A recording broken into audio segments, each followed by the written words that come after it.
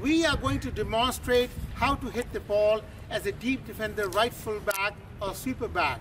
Hockey play. First of all, stance. It's very important to be on your toes, knees flexed, upper body low, on your toes while hitting the ball. And then I would like you to see how to hold the stick.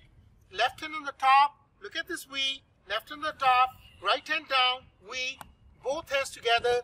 There should be no gap in between the grips. Hold the grip tight. There are various types of grip, short grip, medium grip, long grip, but we won't go into details. We just hit the ball with the medium grip. Stance, holding the stick, keeping the ball, keeping keep the ball near the left foot, so you're hitting the ball from the back and you're having full power behind the ball. Swing, here's the back swing, down, follow through. Just walk this style, back, down, follow through. And I avoid doing this, I avoid doing this, but it's very important to keep the body low and having a little footwork. All the most